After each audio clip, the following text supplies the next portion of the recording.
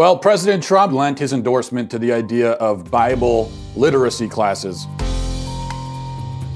These laws, which are being advanced in a few states, including Kentucky is one of them, a few other states, they would um, they would introduce elective Bible classes in school. That kids, that's elective means you choose, you, go, you elect, you don't have to take it, you could take it if you wanted to. And the, the classes would teach the Bible in terms of history and literature. So obviously, students are not going to be required to affirm any of the doctrines in the Bible or to affirm its infallibility, um, nor would they be taught or forced to, to adopt, accept any of the moral prescriptions in the Bible or any of the uh, or, or, or will they have to accept any of the supernatural claims in the Bible? So that's that's in a public school setting. That's obviously not how the Bible is going to be taught, and I think we all agree that it should not be taught that way. And Christians, most of all, I think, would not want the Bible taught that way in a public school setting. And I'll get more to that a little bit later on.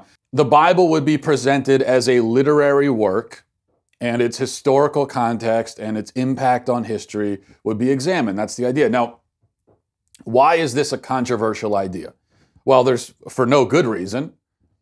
The reason why it's a controversial idea is that we live in a very, very stupid culture filled with nincompoops who think that uh, where it says in the First Amendment, Congress shall make no law respecting an establishment of religion, they think that means that schools have to ignore the very existence of religion.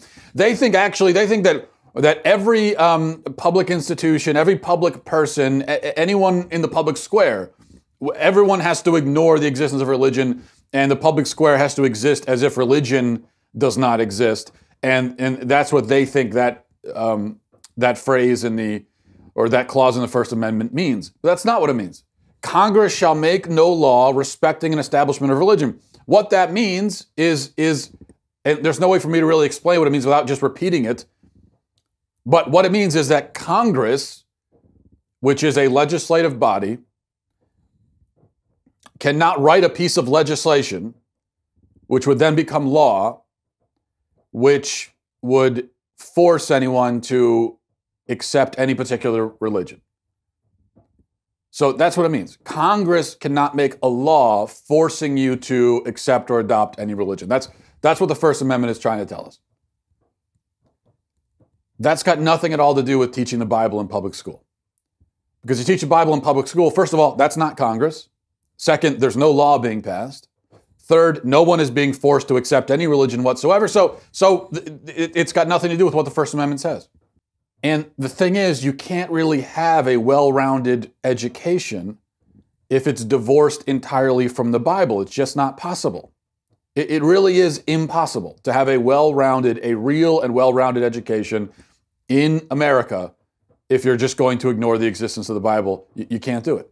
Because no matter what you believe or what God, if any, you worship, the simple fact is this that the Bible is the most influential, important book ever composed. It is the most translated, the best selling, the most widely read, the most quoted, the most debated, the most cherished, the most loved, the most hated, um, the most debated over. I already said that one. It is the most everything, basically, is this book.